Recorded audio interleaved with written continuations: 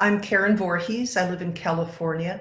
I have been doing integral practice and daily meditation for nearly 40 years. And in those years, I have learned one thing that is more consciousness is always better than less consciousness. By now, I have had the experience of helping run seven home hospices for dying relatives and friends and much end of life care. And this has been one of the most powerful guidelines of my life that when there's nothing else you can do for someone, you can always be there with your full presence, your attention. And my experience has been that our Buddha nature, our true selves, can blossom in the most unexpected and beautiful ways.